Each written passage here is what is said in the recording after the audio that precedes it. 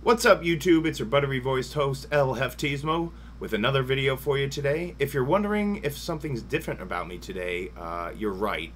Uh, I admit, I'll come clean. I trimmed my mustache a little bit. I hope it looks okay.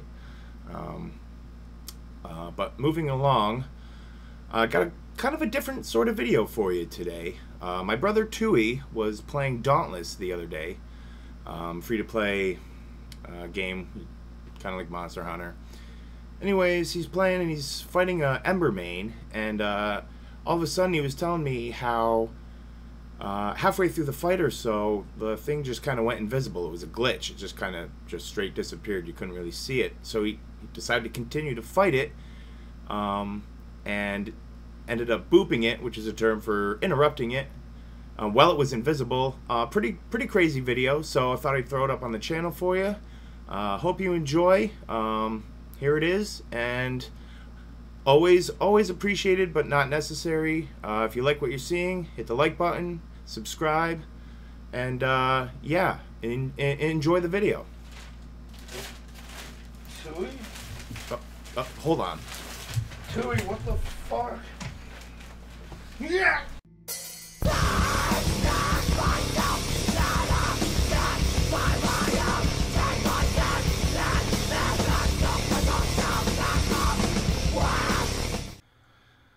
Right, so here's the video. Uh, my brother called me in, uh, probably, you know, obviously at the end of the fight when he was already invisible. Um, but we were able to get, you know, the prior 15 minutes because this was on PS4. And that's how the recording works on that. So I edited out most of the boring stuff in the beginning, got basically to the meat of the fight for you guys. Um, so here he is, uh, while he's still vi uh, visible, obviously. Um, he's about to run away because he's about 50% health or so, something like that. Um, and uh, when when my brother finds him, he's invisible for the phase two. So without further ado, uh, here's here's the here's what happened. Okay, as you can see, like I said, he's uh, still visible, normal, normal fight with Embermane. And some molten orbs there. Fire resist, get the boop. Um, pretty sure he runs away in a minute here. Yep, there he goes. Okay. So, uh, it was uh, shortly after this my brother called me in. He was, uh, looks like just farming some stuff looking for looking for the second uh, part of the fight. That I think that rubber that rubber band glitch there is he told me is what kind of clued him in that something wasn't right. Something was something was amiss.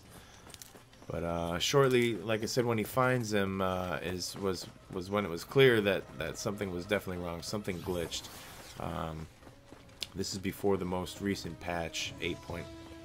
0.3 or I, I, don't remember what it is exactly. I apologize, but um, yeah, here he is. He's invisible, and uh, I know Tui had a hell of a time fighting him, but he decided to keep the fight going, and uh, here it is. So as you'll notice, he's not totally invisible. Um, when he does his unstable attacks, you can still see the lines around his face and then if you kind of pay close attention, you can also see the footprints in the sand of where he's going. So while he's visually invisible, his, his character at least, uh, you can kind of make out where he is, uh, what he's going in. If, if you know the attack patterns well enough, you can, you can fight him. So uh, I think he was using a Drask sword, it looks like, for the fight. Probably looking looking to cut the tail, which is probably going to be next to impossible to do when you can't see him. You're just going to be hoping to hoping to do damage when you can, where you can.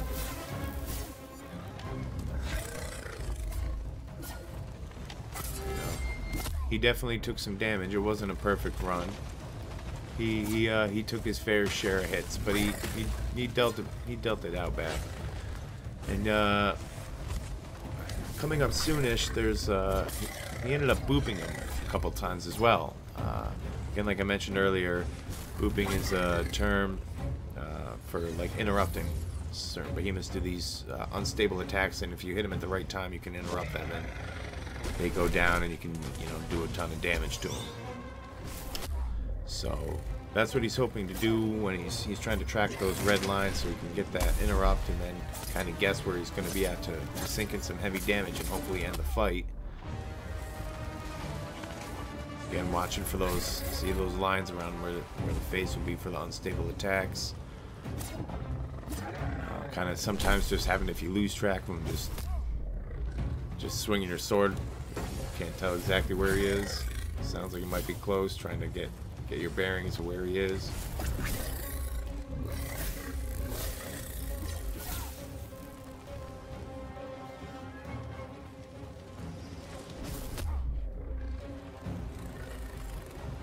Again, like I said, he was uh, he definitely took his fair share of damage, as you can see. But uh, pretty exciting fight, I think. Um, certainly interesting trying to fight a virtually invisible, well, certainly invisible, but trackable monster or behemoth. Excuse me. Don't want to get sued. Um, yeah. Oh, yep, there it is. There's so there's one. There's one of the first boops, as they say, as the kids say. Um, but yeah, so he did a pretty good job. It looks like on finding him and, uh, and, and laying in some damage while he was down. And also, if you'll notice the, the little bubbles, um, that happens when a behemoth is ready to be staggered. Um, so that was also, I think that was also a you know a good thing to help Tui kind of see where see where the monster was for the for the rest of the fight. Um, if if you can kind of notice, it looks like he's trying to avoid actually staggering him and trying to to leave the the bubbles there. It's like he's going for another boop. I said, I'm pretty sure he gets one. As you can see, he just said he's a revive. Again, it's not a perfect run, but uh, if I do say so myself, wasn't wasn't too terrible.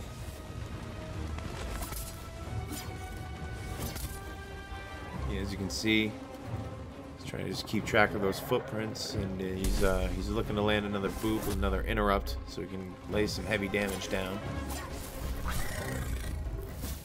Still keeping those bubbles there, trying to trying to hit close to the tail maybe to not stagger him. Keep those bubbles there.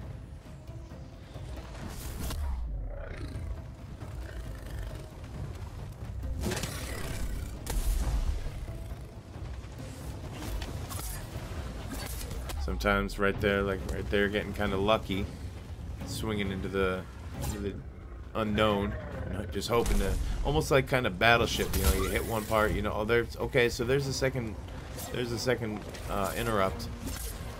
Trying to lay down some heavy damage while he's down.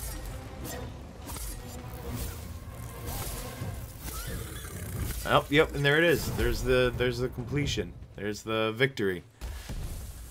Um, again, not bad. I don't think. Ten minutes, S plus, decent rank. Uh, I think he did pretty well. Uh, it was it was fun to watch. It was exciting. It was kind of strange. It was definitely some kind of glitch, but uh, made it through it. Pretty impressive. He's also a bit of a tool, so uh, he did some kind of showboating, I guess, here at the end uh, that I'll put in the video because I'm a good brother. And uh, yeah, that was it. Using a using a Drask sword against the behemoth. Uh, I think the Drask sword was plus five, if I'm not mistaken. Maybe maybe plus six. Um, it certainly wasn't all the way up. But uh, yeah, that was the video. Uh, I hope you guys enjoyed it. And everybody, go out there and do good things because no one else is going to. And if everyone did one good thing for someone else each day, this world wouldn't be such a crappy place. Uh, thanks again for watching from everyone here at HefTV. That's just me, because I run the show here, Hefty. Uh, take care. We'll see you next time. Bye-bye.